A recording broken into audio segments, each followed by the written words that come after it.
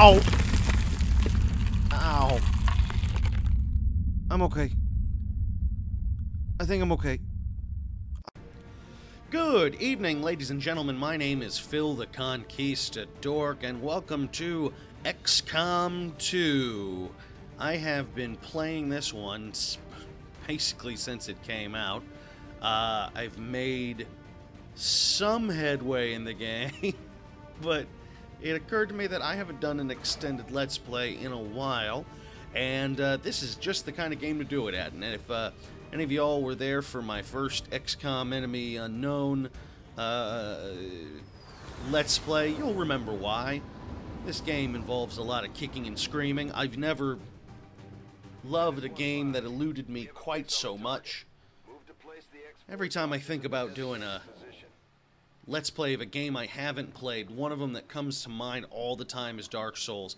And I know that if I'm, I'm still struggling in the darkness with XCOM, I am not ready for Dark Souls. So, now this is one of my favorite parts about the new XCOM. I love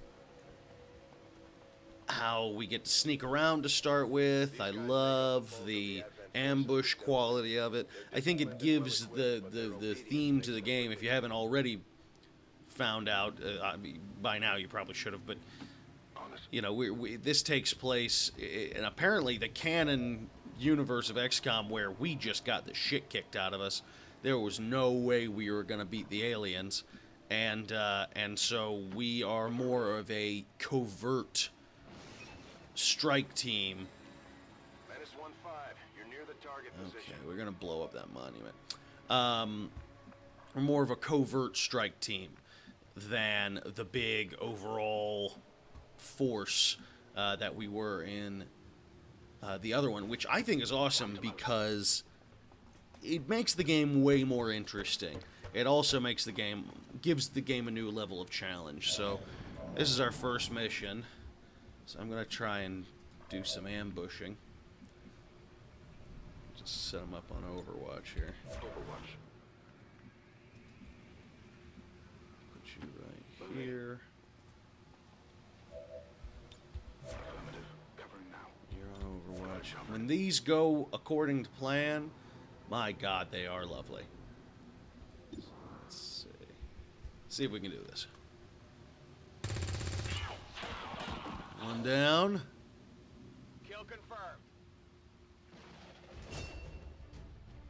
Nice. Alright, so they know we're here, so they're going to scatter. Which means that we get to use our Overwatch, which is just lovely. Two down, three down. Awesome. I love it when all goes according to plan. Which, to be fair, in this game is not crazy frequent. Alright, let's have you run in here. Set up the C4. Or what is it? X4, I guess. It's, it's that many letters more powerful than C4. And we'll just cover you.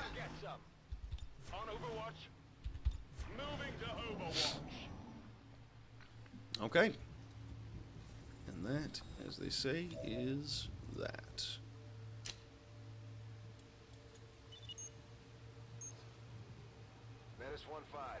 Alright, so now we gotta neutralize the rest, and we forgot. That's not all we gotta do.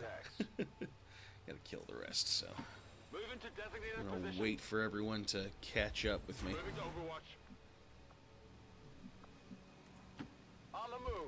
Yeah, the, I mean, the, one of the best parts about coming in undercover when you're concealed is that it means that as long as you, I mean, you can't just run anywhere you like.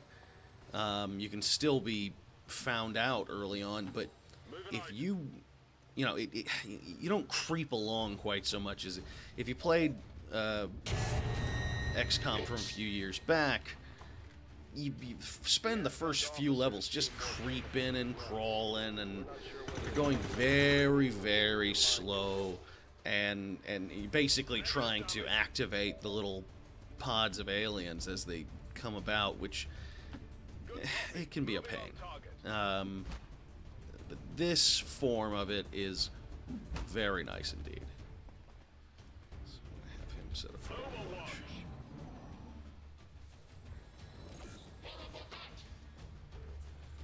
The aliens in this are so much tougher. God damn.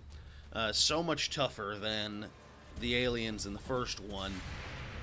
They're just, you deal with you'll see what I mean, but you deal with mind control right off the bat. You deal with, your, your soldiers panic so much more easily now.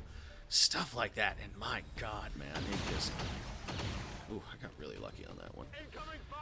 Uh, it, it really takes some getting used to, which is why I've, I've invested quite a bit of time into this game so far, and I have not gotten far, like I said.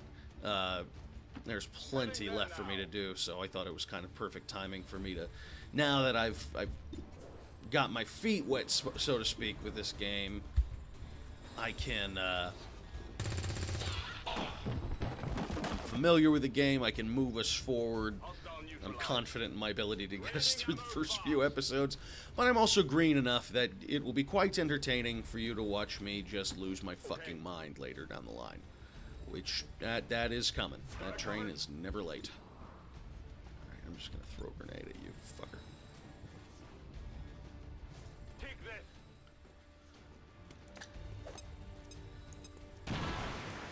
I uh, have also gotten to the habit. It used to be when I'd play XCOM in the past, I would when they finally um, promoted uh, in, into some form of specialty. I'm gonna just sick of you. Um, that was when I would customize them and everything like that.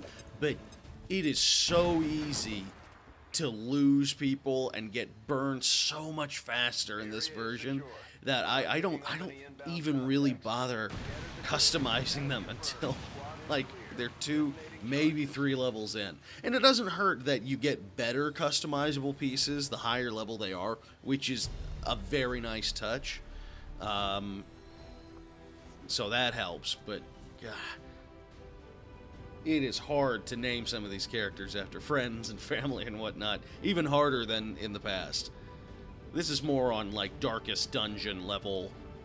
Why am i bothered bothering to customize you stuff?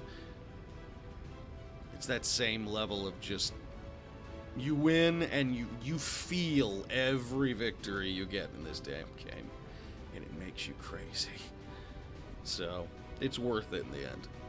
But already you can tell that they put a better coat of paint on the game. The characters look better.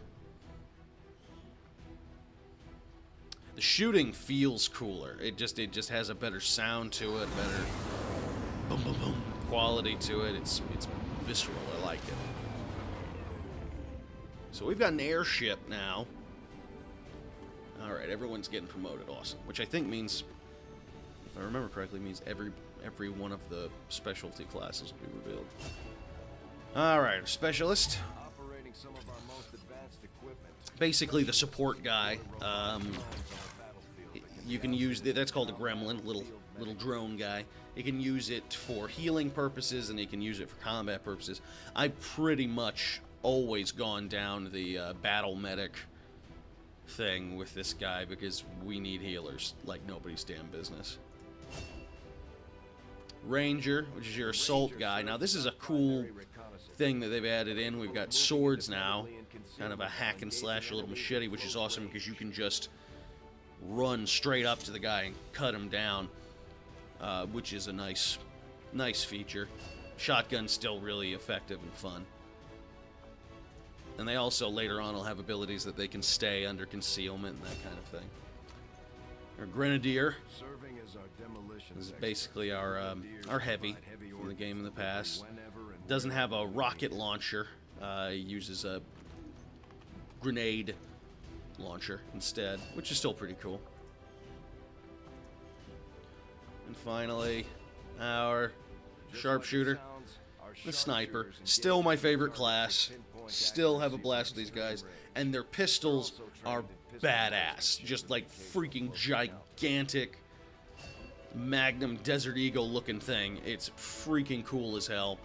And uh, he can get gunslinger abilities, which means, uh, which basically adds up to him being able to use his pistol for free and stuff like that, which is pretty neat. Uh, I still tend to go down the sniper road with him, but it's still a cool, ability.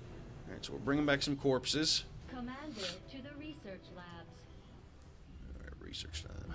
Impressive, isn't it? Capable of generating immense power, yet completely harmless to human life. If only the same could be said for the rest of the aliens' technology, Commander. Dr. Richard Tygan, Chief Science Officer. I am responsible for the entirety of our research here, as well as the procedure you so recently underwent. Welcome to my lab. I took a computer chip out of my nose. I'm not sure what Central may have told you, but it we my nose. Found something while removing you from the alien stasis suit. A device implanted directly in your occipital lobe. Had I access to the equipment available to me during my tenure at Advent, I would already know the precise nature of its function. However, given time and your approval, of course, Commander, I assure you, I will find out. Which brings to light an additional point. Though aspects of this facility are indeed impressive, I am but one man. Were you to direct additional support personnel and resources to me, I could substantially improve the speed of all our research. Uh, farewell. Now that is another really interesting thing that they're doing with this. You, you, you get scientists, you get engineers, just like in the other game. However, you get, as opposed to whereas it before you could get, you would earn eight extra scientists from doing a mission or some damn thing. You get far fewer scientists. You get one scientist at a time, one engineer at a time, and they each have names. And with scientists, I think they just cumulatively increase um, the speed of research. But with engineers, you have to assign specific engineers to specific projects, which is kind of cool. All right, we're going to start with modular weapons because that means we'll be able to upgrade our guns, which is very handy because there is a looting system in this, which is sweet. Because if the aliens are going to be overpowered as fuck, then we need to be overpowered as Reworked your fuck. repulsors with some of the parts I salvaged from their old engine. Should fix that stabilization problem you had. Come on, Rover. It'll work. Commander! Getting our tech to talk to theirs is harder than you'd think. Lily Shen, Chief Engineer, at your service. You were probably expecting to see my father. In all that's happened, I'm guessing Central didn't tell you yet. He's gone. Dad gave everything he had to get us this far. This entire ship is his life's work. I know he would have loved to show you around the place himself. He used to talk about you a lot. You can be sure I'm ready to finish what he started. Might not look it, but from here, I can fabricate pretty much anything you come up with. And with a little more help, well, you'd be amazed with what I can do. It was an honor to finally meet you, Commander. Okay. So we've got our. We have no engineers, so we can't assign anything, but we can build items, that kind of thing. Med kit start is a good thing to have. Flashbangs, uh, which is pretty cool. Uh, smoke grenades. Also cool. I'm actually gonna make. I'm glad that, that now the smoke grenade is one of those things that everyone can have now instead of just your support, which is cool because while they they did have some creative things that they did with the smoke grenade in the first one that was kind of lame as a secondary ability for the support guys. Commander, good to see you on your feet again. Welcome to the bridge, the nerve center of our operation. The aliens have our entire world in their grip. Advent controls everything. Government, communications, industry. Not to mention the military. And it's on us to take it all back. Central's looking a little worse for Resources wear and time these are days. tight, Commander. It'll be up to you to decide how to best use both. The ship is yours. And this is one of my favorite differences between this and the original XCOM. Whereas before we had full access to the entire world and it was basically a matter of keeping all of the countries and the continents on our team and not leaving the XCOM project. Um, now we are seeking out resistance. Uh, we are mapping off pieces of territory. We start out with nothing, and we're looking to gain the entire world, which is really, really fucking cool. Uh, and so here, Avenger. You've got your little airship here, and we go to different things and you investigate, specifically looking into those things. And you can get different rewards for it. So, for example, checking out the resistance here, there's a, we've detected some activity, and we could get a scientist if we check it all out. All right, our modular weapon research is done. Awesome. Like I said, we can upgrade our weapons, and eventually we'll be able to uh, research magnetic weapons, which are really good. And we're gonna go into alien biotech because that's pretty important. Valuable applications stemming from this technology. All right, I'll let's finish this one up. Fire as soon as the research is complete. All right, so we got Dr. Fiona Murray, scientist. See, see what I mean? The scientists, instead of just faceless numbers of people, we don't have the population or the resources that we did in the first one. So it's very much from the ground up. So each scientist has a name, each engineer has a name. Um, it, it's kind of fascinating and, and it really works. Thematically, the whole thing's tied together so well. So our research speeds increased by 33%. Awesome. make sure they are put to good. Now we can check this one out, and our reward will be we can get some more rookies, which is awesome. Avenger. How many times have I said awesome? Like 1,400 times? Doesn't matter. Doesn't matter.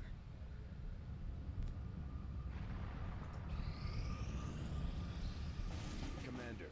All right, new target acquired. We're going to go start some shit, ladies and gentlemen. So, this has been the first episode. We're going to keep this going on a daily basis as far as I can uh, before the strain of having to lead people who look and sound and act like my friends causes my mind to crack. In the meantime, in between time, please like, comment, subscribe, share this video, tell your friends. Uh, I'd love to hear what you have to say. I'd love to hear what other games you'd like to see me play. Uh, otherwise, check out some of our other cool videos. I just put up a review for Rise of the Tomb Raider.